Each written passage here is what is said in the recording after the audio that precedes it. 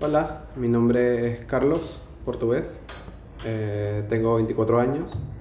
Eh, soy un auditor financiero y bueno, mi personalidad es eh, ordenado, mm, me gusta divertirme, eh, me gusta viajar mucho y bueno, yo vivo acá en Lima, Perú, toda mi vida, desde que, desde que nací. Eh, bueno, la particularidad de, de Lima, digamos que es, eh, no tiene un clima muy, muy bueno que digamos. Eh, acá tienes de, de todo. Tienes desde lugares donde divertirte, donde comer, donde estudiar, donde trabajar, sobre todo. En realidad es bastante completo. Mis prácticas con la fotografía son muy limitadas.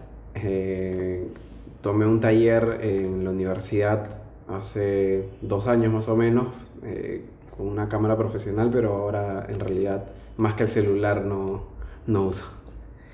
Al usar la cámara desechable, no recuerdo haber visto una cámara así desde hace unos 15 años aproximadamente.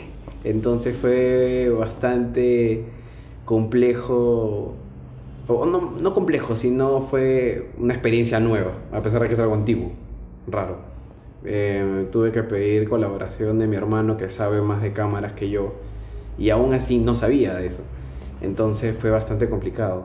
Eh, tuve que verla y, lo más, eh, digamos, frustrante era que vi el conteo de 39 fotos y, mi primera idea era, oh, debo tomar 39 fotos y si me equivoco en una, ah, no sé, si me equivoqué, entonces tenía ese, ese miedo. en- entonces cuando apreté el primer clic, créanme que averigüé bastante antes de apretar ese primer, esa, tomar esa primera foto.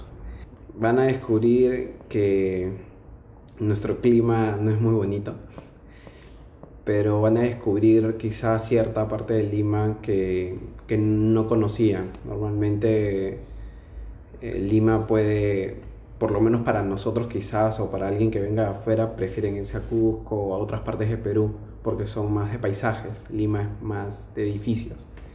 Eh, Pero en realidad este, tiene ciertos paisajes a los que puedes apreciar, tienes vistas que puede, puedes disfrutarlo, si tienes ese- el feeling, si vives de eso.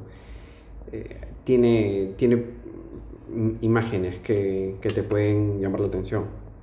Eh, una foto en particular, en las que haya sacado, en realidad sí, se me ocurre alguna eh, que estaba trabajando, eh, estoy en un, piso número 22 de un edificio bien alto y, y me pareció ver una escena, bueno, obviamente no tengo un largo alcance, pero me pareció ver algo que, que dije, en realidad esto es Lima. Eh, en realidad eso es, y así que tomé la foto y, y espero, que, espero que haya salido bien porque no pude ver lo que pasó después. Eh, ¿Qué consejo le puedo dar a un turista que viene a la ciudad? Eh, bueno, lo primero es que se busque un lugar donde pueda descansar tranquilo. Que lo primero que tiene que hacer cada persona que venga en general al Perú, pero en este particular caso a Lima, eh, busque un buen lugar donde comer. Acá hay muchos buenos lugares, como también tenemos malos, pero en realidad tenemos muy buena comida. Y cada región en particular tiene su especialidad, y Lima no es la excepción. Tiene muchos sitios donde tiene comida específicamente que solamente vas a poder encontrar en Lima. Entonces sería muy bueno que lo visiten. Y bueno, mis últimas palabras antes de que descubran las fotos.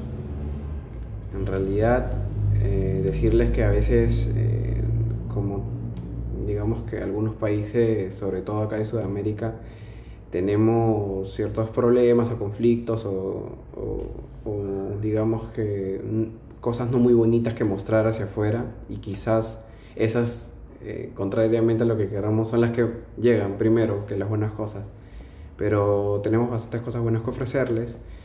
Eh, en general el Perú es bastante rico en, en paisajes y, y- y- y, bueno, en ambientes, en comida y la gente sobre todo es muy amable, van a encontrar, como en todos lugares, de todo tipo de personas, pero en realidad en general somos personas muy amables que están dispuestos a ayudarte y a guiarte en cualquier cosa. Eh, entonces, eh, vengan, eh, busquen una guía, traten de venir informados porque hay tanto para ver que a veces les queda el tiempo corto. Así que mejor es saber y ir de frente a los puntos que, que más son interesantes. Y bueno, vengan.